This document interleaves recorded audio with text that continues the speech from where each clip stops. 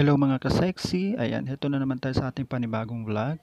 I-share ko sa inyo ngayon guys kung gaano kalakas ang internet provider na Converge. Ayan, pero bago ang lahat, sa mga hindi ko pa subscriber, click that subscribe button at notification bell para updated kayo sa ganap ng aking YouTube channel. So ganito po ang inyong gagawin guys, ayan, pili lang po kayo ng browser, ang napili ko is yung Google Chrome. Ayan, tapos i-search lang po natin ang uh, speed test. Ayan, speed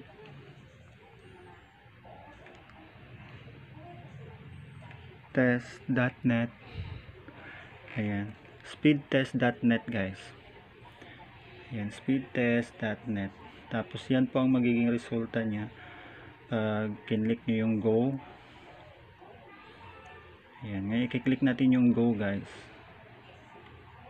Ayan, pag kinlik yung go, ayan, magra-run na po siya. Ayan.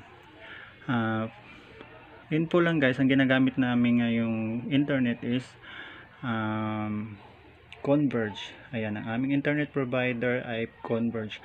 Highly recommended ko po ang Converge guys kasi uh, malakas po ang Mbps na kanya, kayang ibigay niya. Um, ilan po kaming gumagamit ngayon kasi weekend so kompleto po ang tao dito sa bahay. Um, siguro mga 8 o 10 so tignan natin kung talagang malakas ang converge. Hintay-hintayin natin ang result. Ayan nagraran po siya guys. Ayan. Ilang buwan na po namin ginagamit ang converge.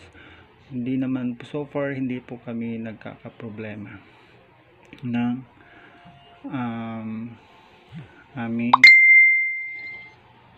aming connection sa converge.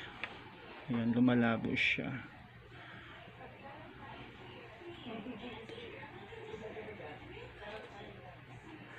Ayan ang kanyang result is 17.66 Mbps po. So malakas na malakas na po yan guys kasi ilan po gumagamit namin ngayon?